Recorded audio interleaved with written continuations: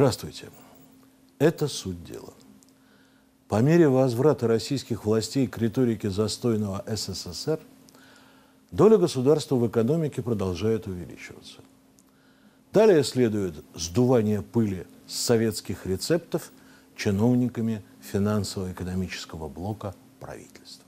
План цифровой трансформации государственного управления, утвержденный премьер-министром Михаилом Мишустиным, включает возрождение государственного планирования на новом технологическом уровне. Предполагается создать единую автоматизированную систему сбора и анализа данных по ключевым социально-экономическим параметрам с возможностью анализа в реальном времени. В основу системы будет положена динамическая модель межотраслевого баланса, краеугольный камень доктрины централизованного планирования – существовавшей в СССР. Идею такой модели еще в конце XIX века высказал русский экономист Владимир Дмитриев. А на практике попытки ее реализации начались в Советском Союзе 20-х годов прошлого века. После 13 плановых пятилеток система канула в лету с упразднением Госплана СССР в мае 1991 года возможности советского государственного планирования были ограничены дефицитом вычислительных мощностей. Но теперь-то технологии больших данных и искусственного интеллекта позволяют сделать еще одну попытку. Ключевым элементом управления экономикой Советского Союза было планирование спроса то есть определение за потребителей, сколько и каких товаров им потребуется в ближайшую пятилетку. Именно это и собираются делать российские власти, одновременно прямо влияя на свободные цены, без которых рыночная экономика невозможна предлагается обеспечить соотнесение в реальном времени запросов и потребностей экономических агентов в стране для снижения стоимости и повышения эффективности производства продукции, что в свою очередь позволит прямо повлиять на стоимость конечных товаров и таким образом повысить покупательную способность граждан, сообщает пресс-служба правительства. Утвержденный Мишустиным документ вызвал удивление даже среди чиновников крайне странным, называют его в нескольких федеральных ведомствах сразу. Кое-кто предположил, что он написан на перспективу. Другие сказали, что причина его появления в необходимости закрыть поручение президента.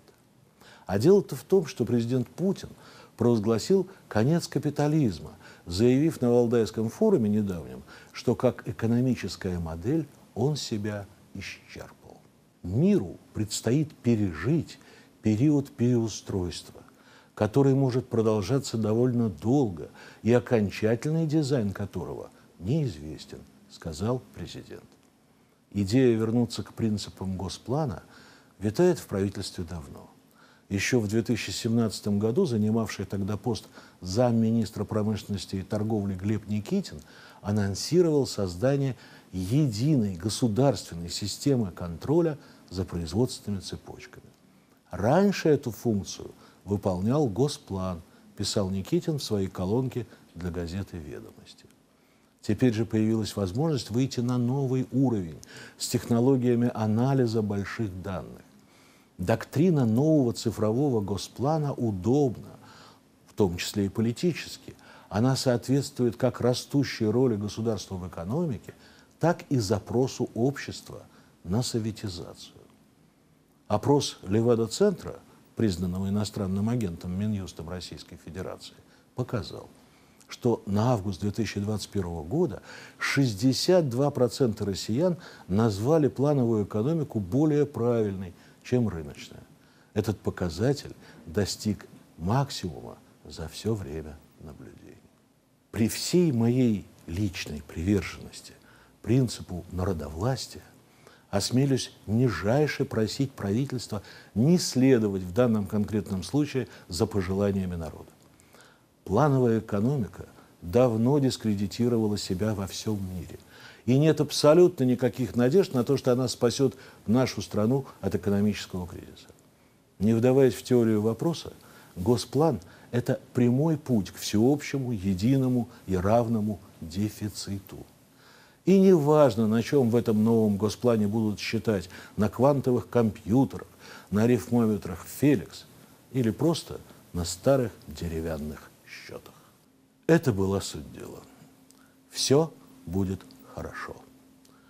В исторической перспективе